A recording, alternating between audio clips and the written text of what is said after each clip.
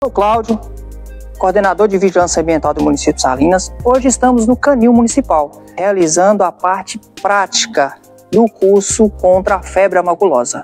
Com o apoio da Secretaria de Saúde, hoje a Vigilância Ambiental finaliza o ciclo de capacitação em manejo ambiental no controle de animais que possam transmitir doenças e animais peçonhentos.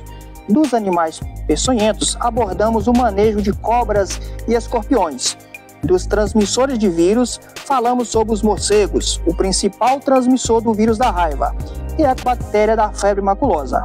No caso da febre maculosa, foi realizada uma abordagem maior, devido ao aumento de casos suspeitos da doença em Minas Gerais. O objetivo desse trabalho é realizar o monitoramento, coletar esses animais e enviar para a FUNED para análise, verificar se possui a bactéria e traçar estratégia de controle capacitar os agentes de combate às endemias e os agentes comunitários de saúde, para que todos possam orientar a nossa população. A fim de monitorar não só a presença da bactéria circulante de febre maculosa nos cães, estamos realizando o trabalho nos equinos no município.